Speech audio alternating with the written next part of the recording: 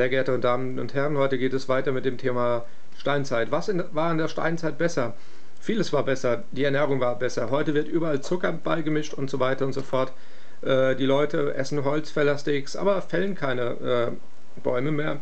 Und äh, auf der einen Seite war die Ernährung viel besser und viel natürlicher, natürlicher und vor allem auf der anderen Seite hat man sich viel mehr bewegt in der Steinzeit. So,